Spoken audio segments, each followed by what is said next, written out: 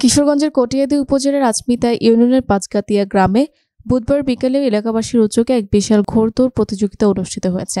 নবনির্বাচিত আজমিতা ইউনিয়ন পরিষদের চেয়ারম্যান মতিউর রহমান মতির সভাপতিত্বে এ সভায় প্রধান অতিথি হিসেবে উপস্থিত ছিলেন জনাব নূর মোহাম্মদ এমপি কিশোরগঞ্জ দুই। উক্ত প্রতিযোগিতায় দেশের বিভিন্ন স্থান থেকে মোট ছাব্বিশটি ঘোড়া অংশগ্রহণ করে প্রথম স্থান অধিকার করেন টাঙ্গাইলের আবু হোসেনের ঘোড়া। প্রথম বিজয়ীকে একটি ষাঁড় গরু দ্বিতীয় বিজয়ীকে একটি খাসি ও তৃতীয় বিজয়ীকে একটি এলইডি টিভি সহ মোট নয়জন বিজয়ী প্রতিযোগিতার হাতে মোট নয়টি পুরস্কার তুলে দেওয়া হয়। প্রতিযোগিতাটি উপভোগ করতে মাঠে ছিল দর্শকের উপচে পড়া ভিড়। প্রতিনিধি মতিউর রহমান, আজকে ঘোড়া দৌড়ের নামে যে খেলাটা, যে প্রতিযোগিতা ব্যবহার, ব্যবস্থা করেছেন, তাহলে দেখছেন? এত মানুষ জীবনে দেখি নাই।